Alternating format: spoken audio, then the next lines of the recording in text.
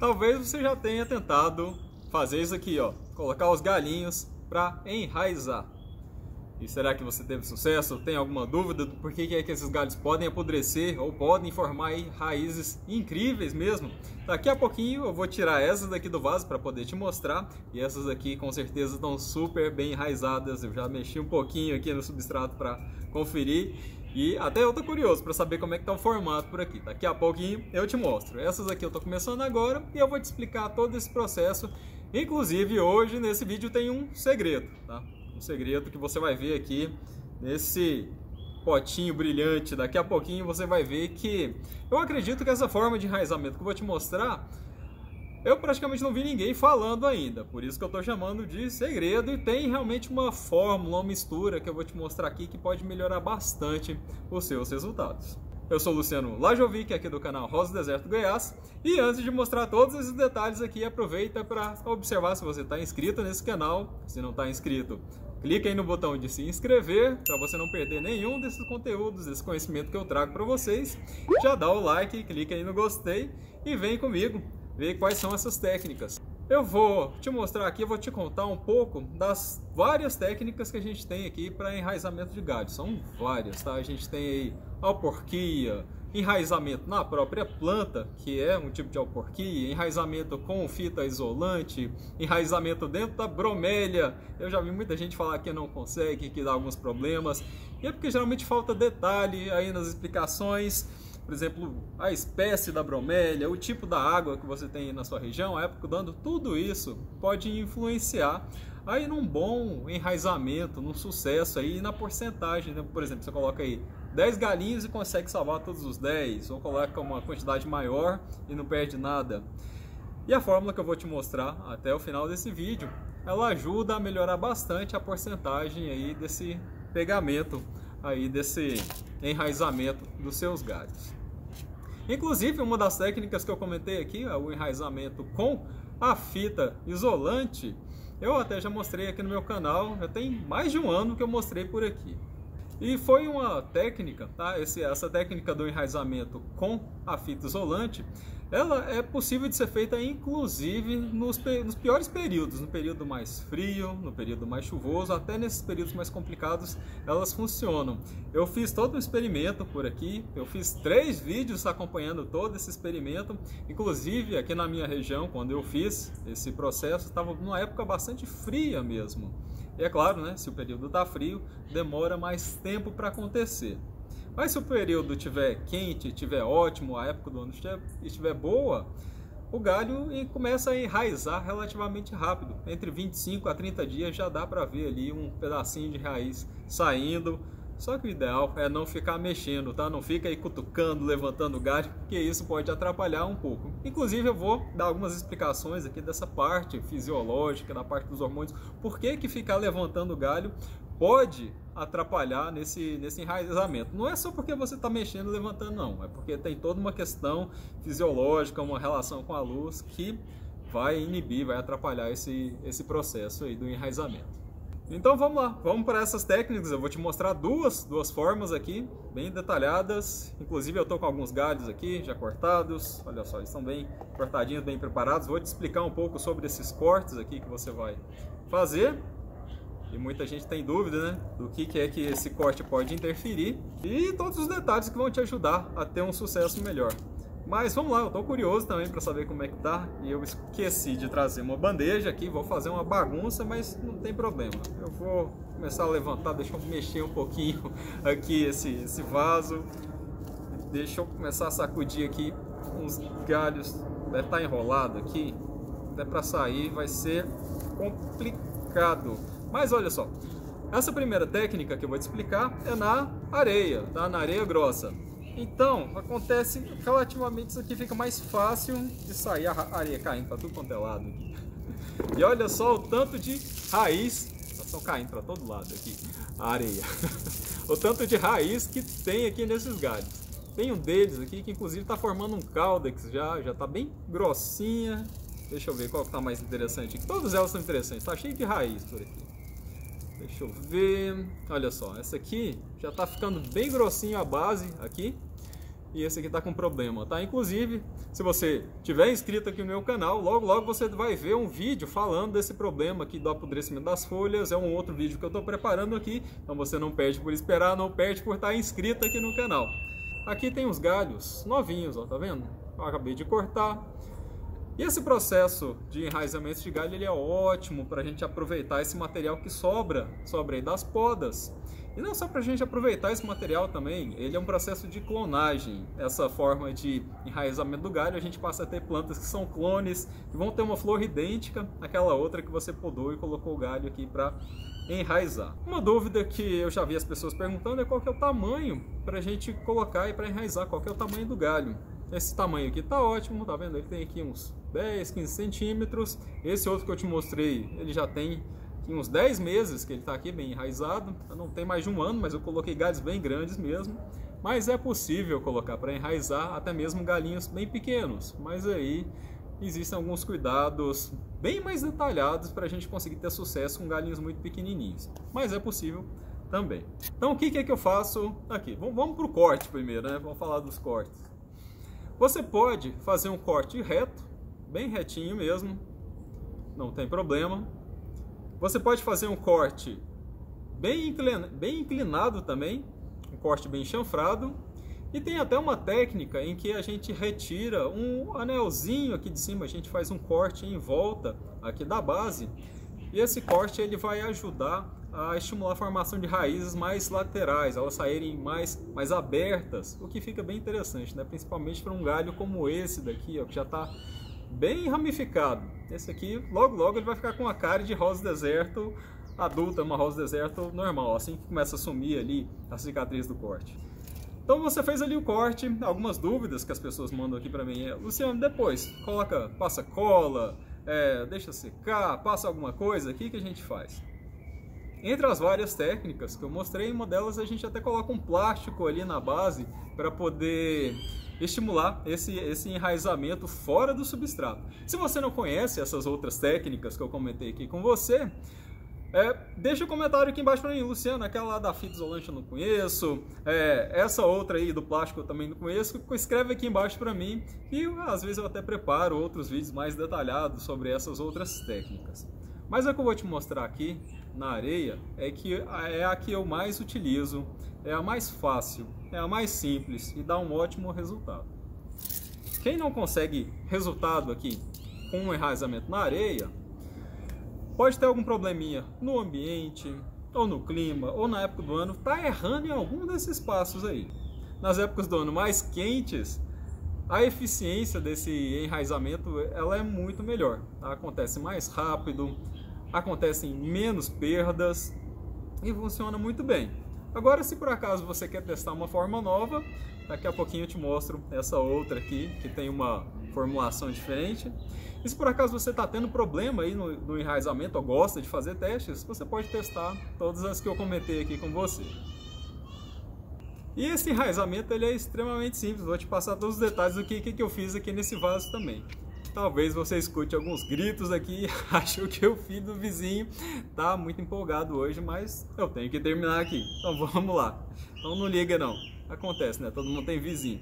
E para preparar o seu vaso, aqui para a gente colocar os galhos para enraizar, eu coloco um pouquinho de substrato lá no fundo, tá vendo? Olha só, só um pouquinho mesmo, até para ver aqui o buraquinho ali do vaso, ó. Só para não deixar areia, que é uma areia grossa, mas ela consegue escorrer aqui por baixo do vaso. Então coloquei essa camada aqui, só para tampar os buraquinhos. Vou, e vou colocar toda a areia aqui. E logo em seguida eu vou colocar então os meus galinhos ali para enraizar. Aí então eu venho aqui com os meus galinhos. E é só colocar aí na areia mesmo. Até apoio um pouquinho aqui na borda do vaso. Para que eles começarem a enraizar eu posso até endireitar um pouco melhor a posição deles. Mas eles já ficam bem, olha só. E só, só isso aqui agora é molhar com frequência. Mas surgem algumas dúvidas, por exemplo, se passa canela, se passa cola. É, com relação à cola, eu já fiz com e sem a cola. Não notei muita diferença aqui não. Tem funcionado de, das duas formas. Existem algumas substâncias que podem até estimular e acelerar esse processo, mas aí já é um outro tema um pouco mais avançado. Então, com a cola ou sem a cola, funciona bem também.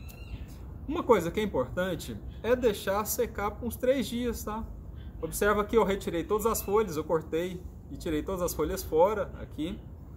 E deixei esses galinhos secarem por uns três dias, até mais, sabe? Pode deixar três, cinco dias, dependendo da espessura, o quanto esse galinho é grosso, porque isso ajuda a ficar mais protegido aqui a base do corte.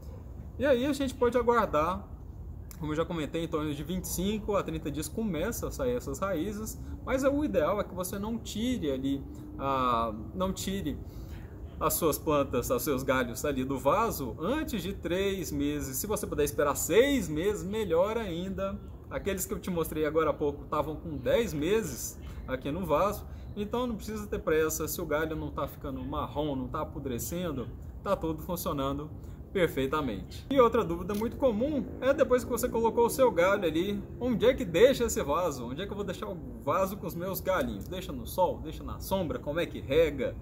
É, o ideal tá, é que essas, esses galhos recebam um pouco de sol direto. Se você colocar no sol pleno, eles podem desidratar muito rápido. E aí você pode até perder esses galhos, dependendo aí se o seu clima é muito quente, é muito seco. Mas é muito importante, é extremamente importante que eles recebam pelo menos umas duas horas de sol direto. O sol é super importante para estimular a formação de brotos, formação de raízes. Sem sol, só rosa deserto ou galho ele não vai ter energia para poder se desenvolver. E é claro, né, aqui ele não tem raiz, mas ele vai precisar ser molhado por cima, ele vai precisar receber água algumas vezes por semana, duas, três vezes eu chego a molhar até todos os dias. Mas aqui é bom a gente seguir aquela regra, aquela regra do dedo mesmo. Você encostou o dedo ali no substrato, está seco, já está passando a hora de molhar. Principalmente nesses galinhos que não tem raízes. Mas vamos lá para outra forma, para outra técnica de como é que a gente faz para enraizar. Deixa eu separar esse vaso aqui. Inclusive, né, estou com uns potinhos aqui que fazem parte dessa fórmula, dessa mistura que eu vou te mostrar aqui. Essa outra forma aqui de enraizar é simplesmente um enraizamento numa solução. É possível a gente conseguir enraizar os galhos de rosa deserto na água, simplesmente na água. Mas aqui eu tenho muito mais do que água, não é só água não.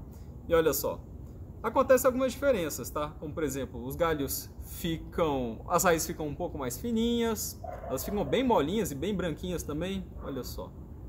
Deixa eu até colocar aqui de novo que ela está pingando aqui em cima de mim. Mas Nenhuma das duas técnicas são 100%. Sempre pode acontecer isso aqui, ó. No caso desse galho aqui, ele apodreceu. Olha só, está aqui amarelo, tá podre mesmo. E esses outros também estão começando a enraizar. Só que eles estão com raízes bem, raízes bem pequenininhas. Não sei se você consegue ver uma pontinha branca ali. Olha lá, começando a sair. Esse aqui está no início do processo e pode acontecer de alguns apodrecerem mesmo.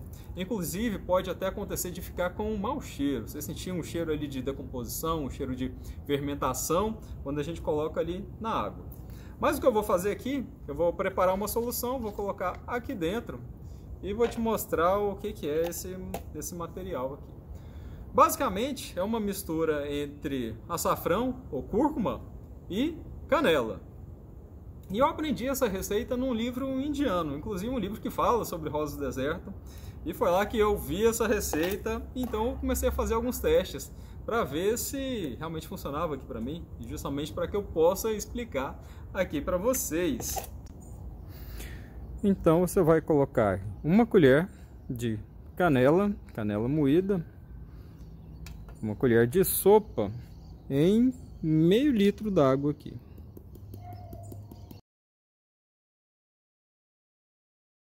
Vai misturar, daqui a pouco eu misturo para não virar uma bagunça e você vai colocar duas colheres de açafrão ou cúrcuma, é a mesma coisa, também em outro em outros 500 ml de água aqui. Um medidorzinho aqui de 500 ml.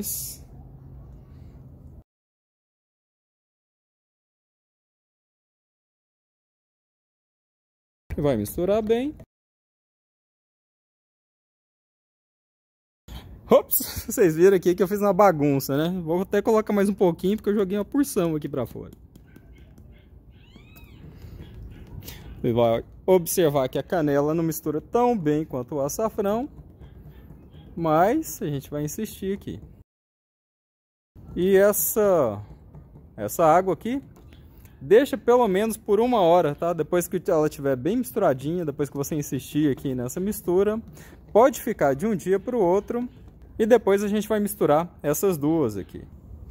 Depois que você tem essa solução já descansada, a minha já está aqui, aqui do lado, você pode dar mais uma misturadinha, mas não é importante que o pozinho que está no fundo venha junto, tá? Não precisa não.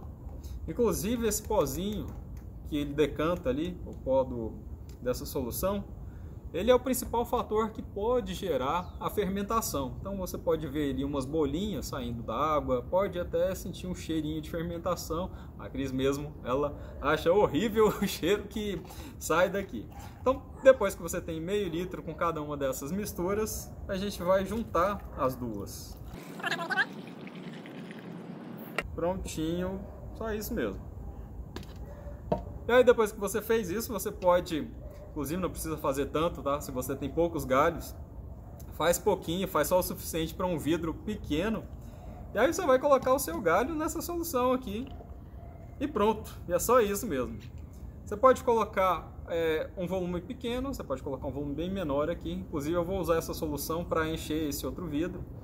Porque uma coisa importante é fazer a troca dessa solução. Ela vai precisar ser trocada pelo menos uma vez por semana para esse processo de fermentação, de decomposição, não ficar muito forte, muito mal cheiroso aí no caso. Mas não tem problema, tá? Ele, esse cheiro não quer dizer que vai atrapalhar o enraizamento, que é o que eu estou te mostrando aqui. Ó. Essa daqui aconteceu justamente isso, foi esse enraizamento aqui nessa solução. Um outro detalhe importante é esse papel alumínio que eu coloquei aqui. Porque como eu havia comentado, vou falar um pouquinho dessa parte de fisiologia, o que acontece é a, é formação de um hormônio enraizador bem na base daquele corte que você fez. Esse hormônio ele vai se acumulando ali para estimular as células a formarem raízes. Só que esse hormônio ele é fotossensível, como assim? Ele é destruído, ele é degradado pela luz, pelo sol. Inclusive, se você pega uma rosa deserta, um vaso qualquer aí, e olha por baixo, você vai ver que as raízes, se, se você estiver aí numa bancada, se estiver entrando luz por baixo, as raízes começam a ser inibidas, elas começam a ficar com um formato diferente, mais grossinhas, porque a luz causa toda uma mudança aí nas raízes. Então, essa parte é um dos segredinhos para você ter um bom enraizamento, é não deixar a luz encostar ali na parte do corte. Essa solução, ela pode melhorar aí o seu enraizamento em até em até uns 60%, na verdade mais de 60%. Aqui no caso eu cheguei a conseguir 90% dos galhos, ou seja, eu coloco ali 100 galhos, 90 deles vão enraizar nesse processo aqui. É importante você Lembrar que as plantas têm diferença, algumas são mais sensíveis, outras podem realmente apodrecer dessa forma. Mas aproveita e me conta aqui embaixo se você já testou esse enraizamento com alguma solução, ou na água, ou em algum líquido, ou se você usa só areia ou outras formas que eu comentei aqui, pra, aqui com você, ou se você não entende alguma delas e quer explicações melhores, deixa escrito aqui também.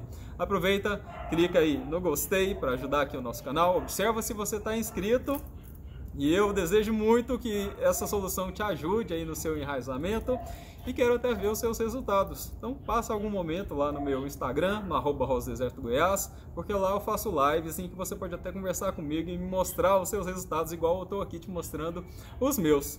E até o próximo vídeo.